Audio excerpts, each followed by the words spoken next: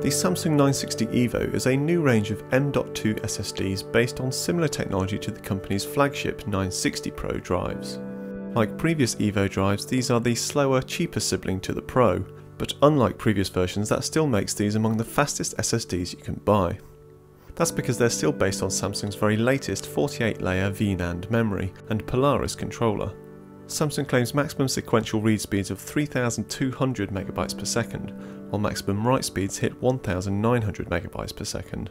Random performance is also incredibly fast with Samsung claiming 380,000 IOPS read and 360,000 IOPS write. That makes these drives faster than even last year's 950 Pro drives, right across the board. The key difference between these drives and the 960 Pro is that the NAND used here is configured to store 3 bits of data in each memory cell rather than 2. This so-called TLC NAND allows Samsung to pack more data into the same space and in turn makes for a cheaper drive. The downside is it's slower to write to. To get around this, manufacturers cheat by having a small portion of the NAND run in an SLC or single level mode to allow for fast writes for a short period. If however you continue to write the drive beyond that SLC capacity, then write speeds drop dramatically. For the 960 EVO it drops as low as 300 MB per second for the smallest capacity drives. Thankfully it shouldn't be that often that most users find this a limitation, as the SLC cache on these drives is plentiful.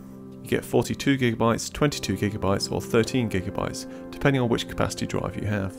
The other disadvantage with TLC NAND is lower longevity. While the 500GB 960 Pro is guaranteed to be error-free after a total of 400TB has been written to it, the 500GB 960 EVO is only rated to 200TB. Plus the EVO only has a 3-year warranty rather than 5. That may sound alarming, but the reality is these drives will probably last the average user the best part of 10 years, if not more.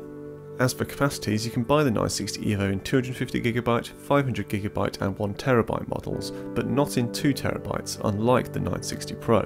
That's a bit disappointing considering the drive can theoretically pack in more data to each of its NAND modules, but at least you get a far lower cost of entry with Samsung charging around £150 for the 200GB drive. In comparison, you can't get a 960 Pro for less than 350. But enough preamble, let's look at some benchmarks. Firing up Crystal Disk Mark, the 500GB 960 EVO immediately shows that Samsung's sequential speed claims are not exaggerated.